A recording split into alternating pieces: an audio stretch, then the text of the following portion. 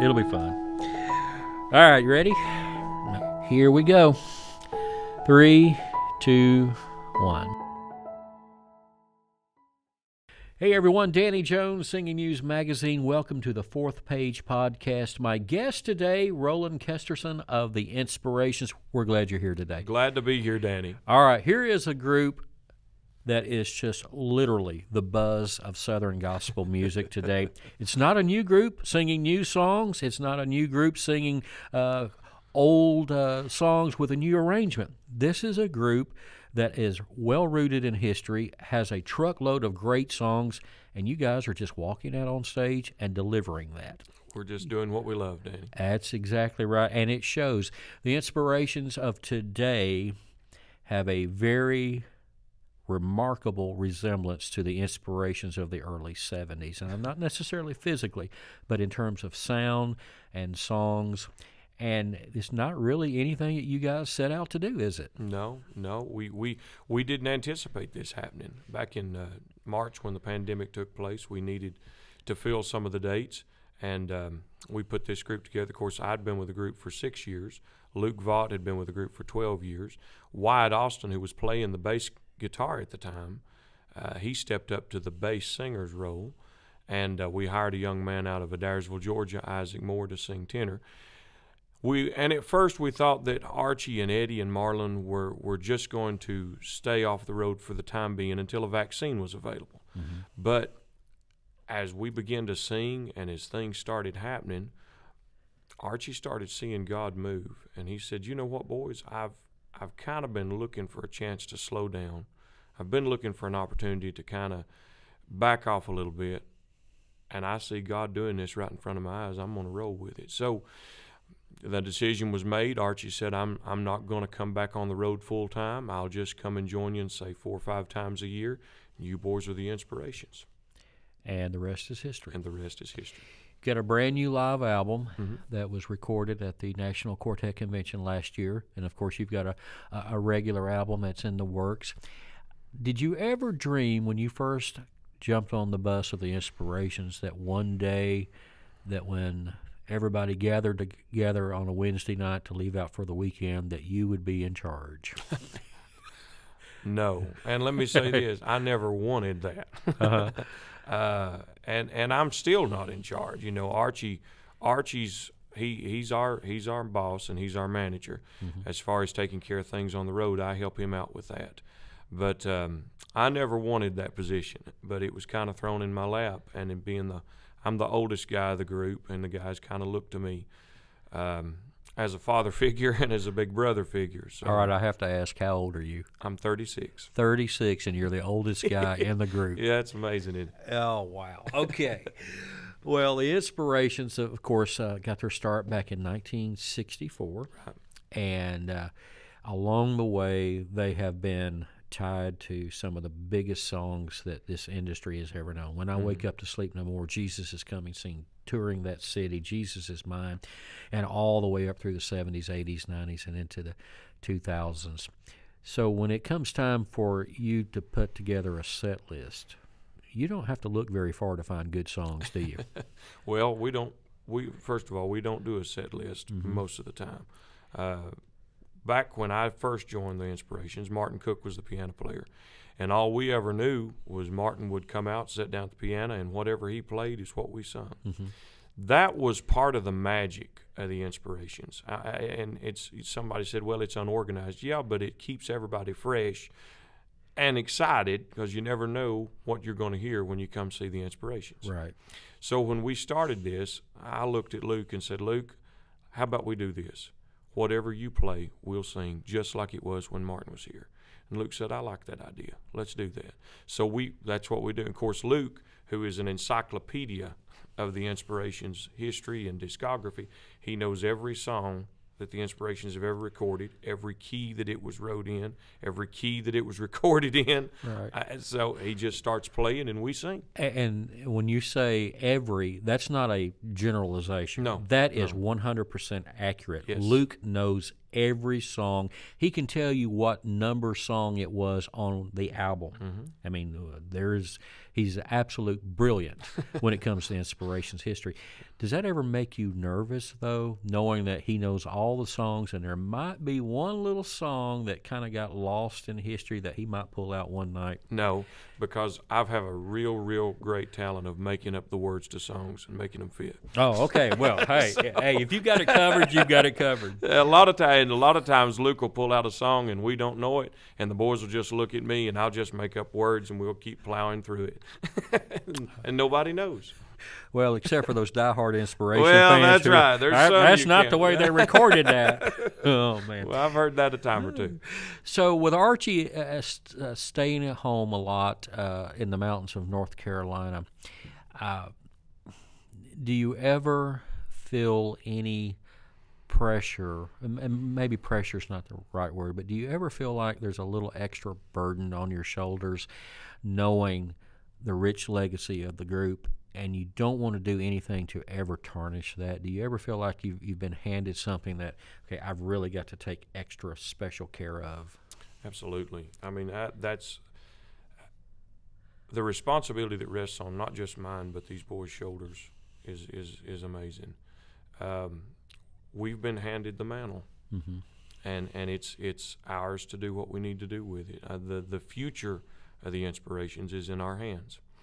And that being said, every day that I live, whether I'm at home or whether I'm on the bus or whether I'm on the stage, I always try to keep in my mind the reason that I'm here is because of what they did. Somebody will come after me, Mm-hmm. and I want to give them as much as what they left me. That's a great way to look at it. You know, there's another side uh, to the inspirations history that some people know about, and it's it's playing out in reverse now. Uh-huh. And this is what happened in the late 1970s. The Inspirations took another group under their wing, the Primitive Quartet. Literally carried that quartet across the country, introducing them to church pastors and promoters, and uh, really helped the Primitive Quartet get established. Now, in the in the 2000s and 20s, the Primitive Quartet, in a way, is returning the favor. Mm, Uh, they ways. they have they have taken this version of the inspirations under their wing, and of course you're still under the wing of the, the previous inspirations. Mm-hmm. But the primitive, they're helping introduce the inspirations of today to, to new audiences. Absolutely, and and and and that's how we do things. I mean, Mhm. that's just the Christian way. But the inspirations and the primitives have always had a great relationship. Of course, back in the '70s, as you said, the primitives got their start by riding on the inspirations bus. Uh, now, the primitives are helping us. One time, we went to Lebanon, Missouri, which was a that was a game changer for us. That concert was, but the primitives let us ride on their bus out there because we didn't have anything at you know at the time um, we were riding around a pickup truck Mhm. pulling a trailer. So we all rode out there. But now i've got this i've got this story to tell that just happened this past weekend uh, since you brought this up. We were singing at the fontana village a great event that's going to happen again next year. The walking by faith is a group out of robbinsville north carolina. They had their homecoming singing at fontana village and we were on the program with the primitives. During our set Luke's been playing uh, the piano that Martin played, and it's pretty old. And I've talked to Luke. I said, you know, we need to we need to think about getting a new piano, and he didn't want to because that piano was the piano that Martin played, and Mhm. there's a lot of memories tied to it. Well, it's got to a point where the piano's been cutting out on us. We were in the middle of our set, and the piano just quit in the middle of Wake Up to Sleep No More. We had to stop singing. Luke had to turn it back on. We went again after our set was over with, we gave an invitation, and Mike Riddle come up, and he went over to the piano and put his hand on it, got my microphone, looked at the crowd, and said, "You know, this piano's been around a long time." He said, and it's got a lot of memories tied to it. He said, but they can't have a piano that won't work for them. And he looked back through the crowd and said, I want my wife to stand up, and I want her to write a $500 check, and I want to take up an offering to buy them a new piano tonight. Wow. And they did. That's just the kind of guys they are. They're just they're some of the most loving people. Oh, yes. that you'll ever meet. Let's talk about the history of Roland himself here. Now, This be short. well, you're only 36. I mean, really, bragger. Uh, let's, you know, the Inspirations is not your first go round No. in gospel music. Uh, you were, some people remember you from your days with a group called Set Apart. I started singing when I was 17 years old with a bluegrass group out of Sparta, Tennessee, named Set Apart. Uh, and I sang with Set Apart for seven years. Of course, you know, that's when I first got to know the Primitive Quartet and the Inspirations. I'd always looked up to them and listened to them, but didn't know them personally. But during those years is when I got to know uh, the Primitives and the Inspirations and the McKameys and different people. You got to meet you, Danny, and um, that that's where I got my start. And then during that time, I made friends with Martin Cook. Um, of course, Martin used to bear hunt, and, and, and I hunt with dogs as well. And we did a little dog trading at one time, and we remained friends throughout the years. Of course, the time come in 2015 when he needed a baritone singer, and he called, and I was ready. And now you've you're you're there for the duration for a while. It looks like. I'm here till the Lord comes back. Yeah. I, I, I feel like I was born to be where I am now, hmm and um, I have no intentions to do anything else. Well, when you were growing up, who is, did you listen to the music of the Inspirations? Uh, was that your favorite group, or, or how did you get involved to start with in gospel music? Going to church um, with mom and dad. Of course, mom and dad sang in a they you know mom. This is kind of a long story. I'll just try to shorten it as best I can. When mom and dad were first married, dad wasn't saved, and long story short, dad got dad got saved, and they went to a, a concert in Knoxville to hear the Inspirations. And my dad, when he seen Mike Holcomb come across the stage with his shoes shining so bright that they'd knock your eyes out, and heard him singing bass like he sung, and seen Archie singing tenor like he sung, and Troy and Eddie, Daddy fell in love Mhm. with gospel music. And him and mom, of course, mom had already been singing uh, all her life. My grandpa was a pastor for 56 years, so grandpa would go hold revivals and pastor churches, and mom would sing and play the piano. Mom and dad and Aunt May and Uncle David, mama's sister and her husband, they got burdened to really sing gospel music, so they started. And my childhood years were spent traveling around, you know, our area, Tennessee, listening to mom and dad and Aunt and Uncle David sing on Saturday and Sunday and Sunday night and at homecomings and different things. That's really where I fell in love with gospel music. And of course, going to the dates, we would always listen to the cathedrals and the inspirations and the McKameys, Palmetto State Quartet, and they introduced me to the Statesmen Quartet. And, and that's where my love for gospel music began. You know, uh, skipping forward to today, one thing that a lot of people have talked about, and it's really simple, Mhm.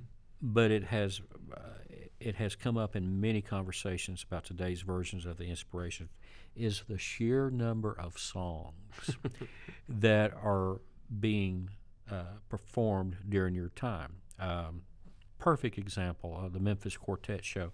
Uh, you thirty minute set, song after song after song after song, one break to introduce the guys, and that was it. But those those kind of things are happening every weekend. Uh, again, very similar to what the inspirations used to do uh, down through the years, and it's important and has been important to the group to sing, to sing the songs. That's what people are wanting to hear. They're wanting to hear the, the, the songs, and y- you've you've taken that on very seriously as a personal task to make sure you can pack in as many songs as you reasonably can, and, and still get the message across. What what what was your driving factor behind a lot of that? A lot of folks may not remember this. Well, they, they, unless they were there, they can't remember it. But back when the inspiration started, and the way we know this is we've been privileged to have access to old recordings, uh, homemade recordings from the crowd from the 60s and from the 70s when the inspirations first got started. Uh, Luke has found a lot of those recordings. Archie had a lot of them. Ronnie Hutchins had a lot of. We, we've we've we've gained access to a lot of these old recordings, so we can sit and listen to how they used to do things. Now, in later years, they kind of got Martin kind of got away from that, but back in the day when they first got started, they would take a stage, and they would do just exactly what we do now. Mm-hmm. They would sing and wouldn't stop until Martin quit. It wouldn't, it, you know, 15, 20 minutes, 30 minutes nonstop. And then Martin would get up and say a few words and they'd go right back into singing.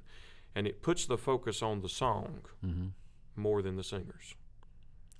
It also makes it a little tough on the singers well, sometimes it too. does. it does. But, you know, that's just how we do it. well, hey, if it works, it works. Hey, we're going to come back with more with Roland Kesterson of the Inspirations in just a few moments. Stay tuned to the Fourth Page podcast.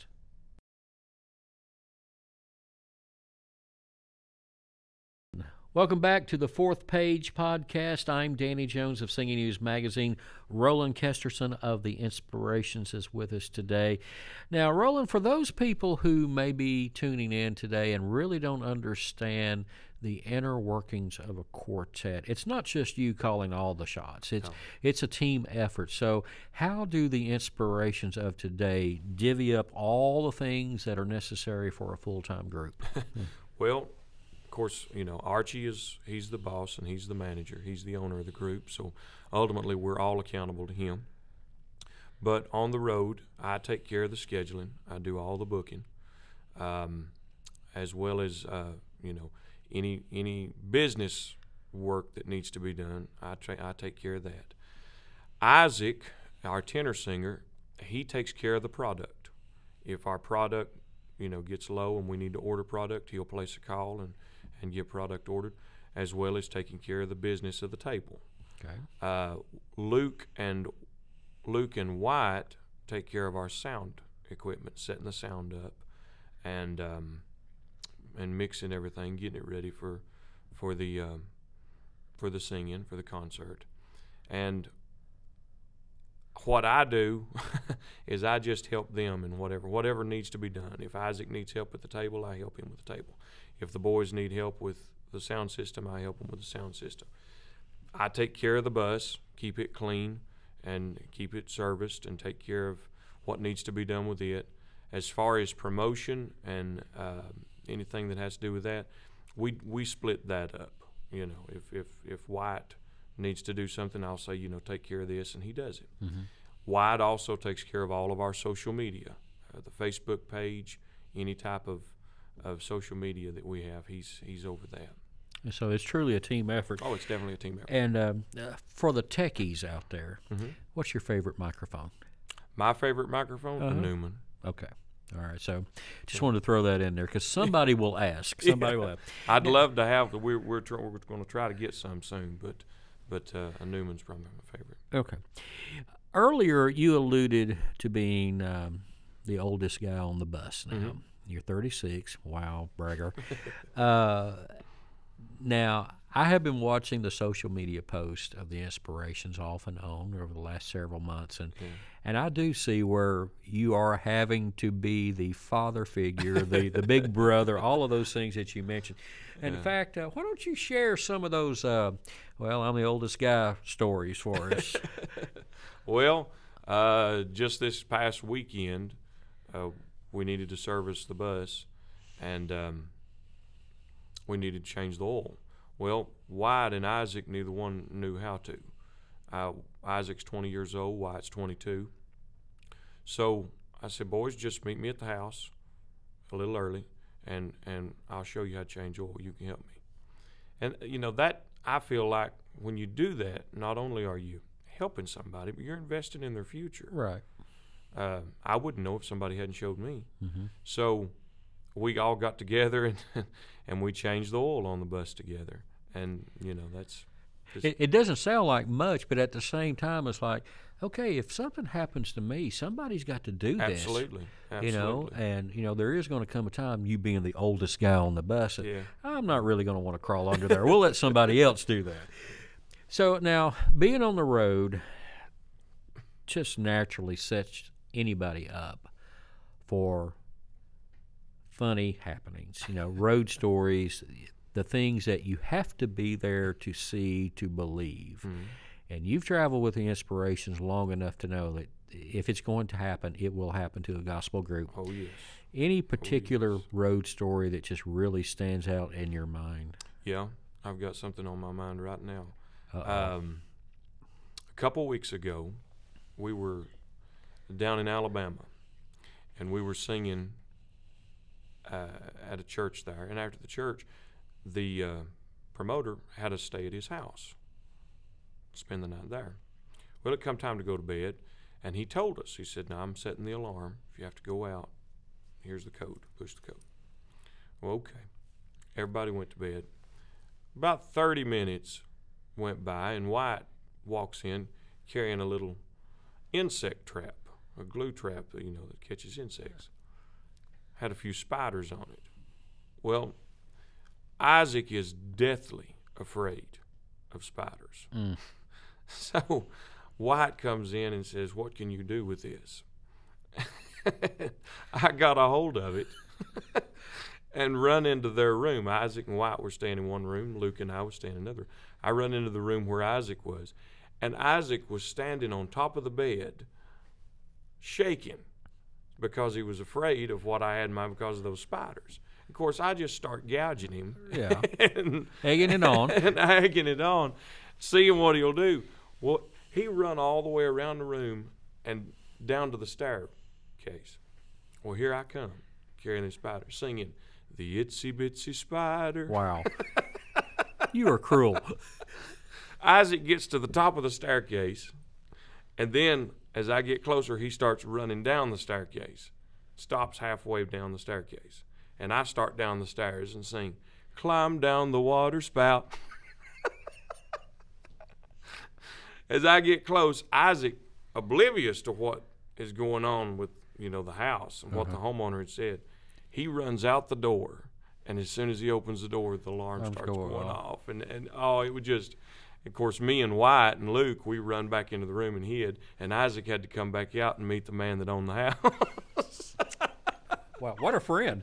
oh yes, we watch out for each other. Yeah, well, that that keep that keep, that does keep things lively on the road, no doubt. Uh, I do have, I- I do recall though, uh, not too long ago, I believe you guys uh, got locked inside an auditorium and couldn't get Oh out. Oh my goodness, yes. uh, which that now that I have to admit that usually doesn't happen too much. But now, uh, and this was in Memphis, I believe, at the Memphis Quartet show, and that's a, a big civic center complex that um, has underground parking for a lot of the buses, and that's where you made your mistake. yeah, that's where we made our mistake. Yeah, they uh, now if I remember right, correct me if I'm wrong. You pulled in there after the concert was over, everything was loaded up, but you decided just to walk a couple blocks down to get something to eat Yeah. and come back and would leave. Well, in that walk during that time and while you were eating, they locked up the building, including your bus.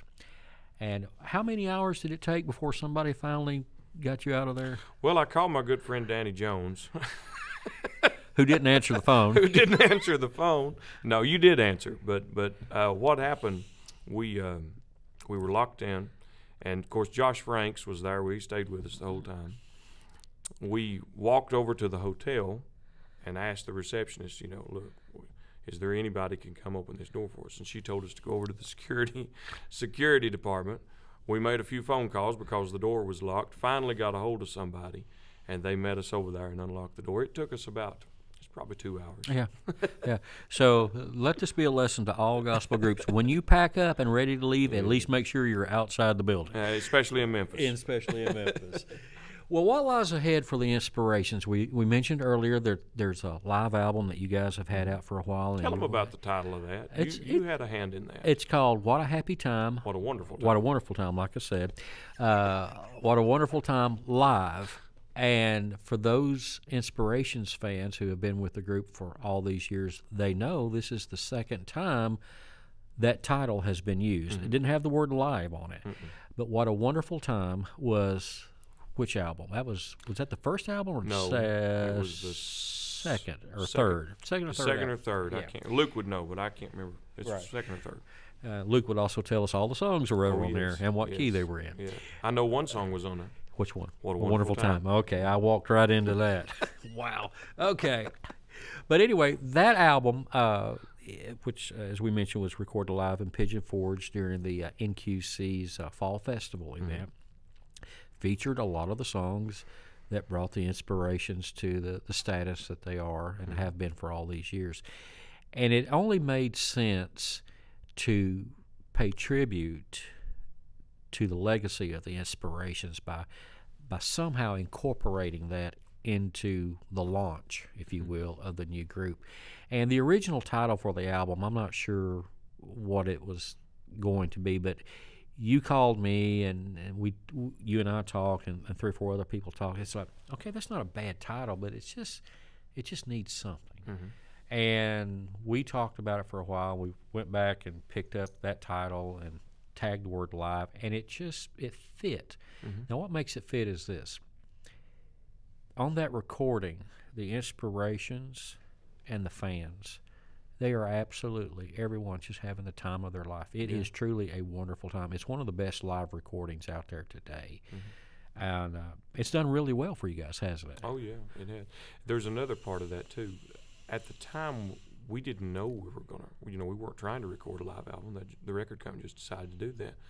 But at the time that it was recorded and produced, we still didn't know for sure that we were going to continue on as the inspirations. We thought that this could possibly just be for a season, just for a time. So the title also played into that as well. This has been a wonderful time. Right. However, none of us had any idea what was going to happen. Now it's, as you say, the rest is history. Right. Now this is the inspirations. And it truly is a wonderful time. Yes. And uh, it's it's thrilling to a lot of us who have been in gospel music for a long time to know that what started in 1964 has the, the right personnel, the right the right ingredients to carry on for generations to come. And uh, I know a lot of people are so proud of what you and the guys are doing, and I know Archie is definitely proud. Archie's ecstatic. Yeah. He, he's he's. I know he's our boss and he's our manager, but Archie is our biggest fan. He is. he really is. I've talked to him several times, and he said, "Let me tell you what my boys are doing." Yeah, So yeah. he he's enjoying it. Roland Kesterson has been our guest today on the Fourth Page podcast. Keep up with him and all the inspirations on social media. Great stuff there. Look for it. And in the meantime, make sure you make time on your calendar for the next episode of the Fourth Page podcast. We'll see you right here.